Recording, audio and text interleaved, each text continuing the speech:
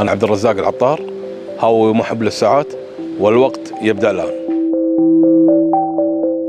أكثر شيء أحبه في مهنتي أن مهنتي ما لها وقت معين ولا لها مكان معين. أنا داوم كل مكان. أكثر شخص أثر في حياتي والدي الله يحفظه وعلى المستوى الأكبر الرسول عليه الصلاة والسلام.